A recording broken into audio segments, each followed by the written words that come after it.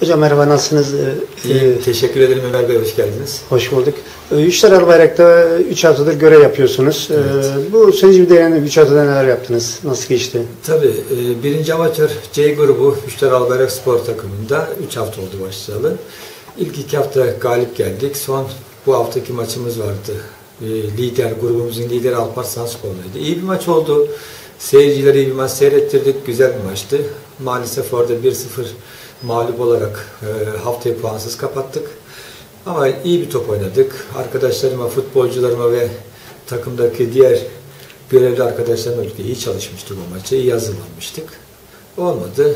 Bu haftaki maçımız da grubumuzun üçüncü sırasındaki Beyaz Spor. Ondan da aramızda az bir puan farkı var.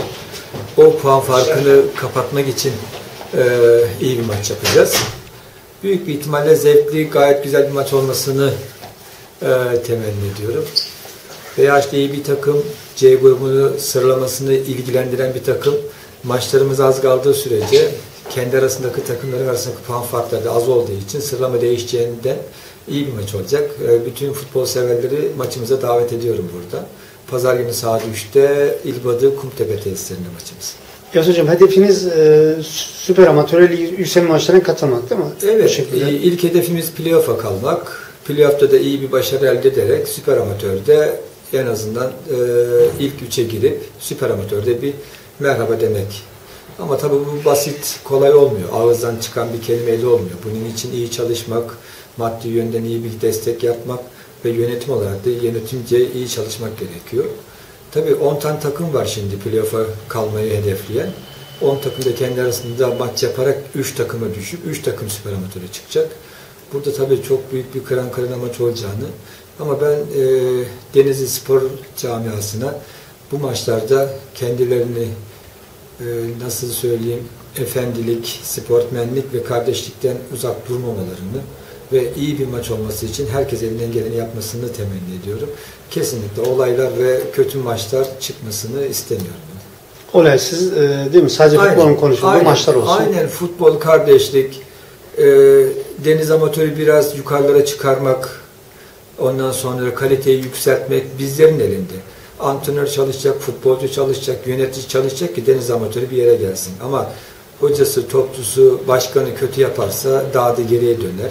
Bizlerin elinde yani deniz amatörünün seyircilere zevkli maç seyretmek, efendi maç seyretmek, güzel maçlar seyretmek bizlerimiz elinde. Herkes üzerine düşen görevi layıkıyla yapmak zorunda ve yapacağından da eminim. Peki hocam diğer takımlar yani e, playoff'u hedefleyen takımlar e, takımlarına takviye yapıyorlar, yeni transferler Evet. yapıyorlar. Sizin böyle bir planınız var mı? Yok şu anda bizim takımımız e, bir tane başkan e, kendi imkanlarıyla bu takımları maçlara hazırlıyor. Çok büyük bir imkan olmadığı için ben takıma takviye istemedim. İsterim ama yok e, parasal yönden çok maddi e, iyi bir takım değiliz. Fiyatımız, paramız olduğu kadar sadece elimizdeki futbolcularıyla ilgileniyor. Diğer rakiplerim yapmış, duyuyorum. Ama olsun, yaptıkları belki iyidir, belki kötüdür. Ama kulağıma bazen şey yanlış isimler, yanlış şeyler de geliyor. Bunlardan da ben çok e, müzdaribim bu konuda. Başka takımın oyuncusunu kendisine söyleyip de ben seni alacağım, ben sana para vereceğim diyerek değil de rakip takımın başkanıyla, hocasıyla görüşerek ya hocam başkanım ben bu topçuya talibim ama siz ne dersiniz diye ondan izin alması gerektiğine inanıyorum hala. Hiçbir takım hiçbir topçusunu haberi yokken kimseyi bana gel ben vereyim ben alayım dememesi lazım.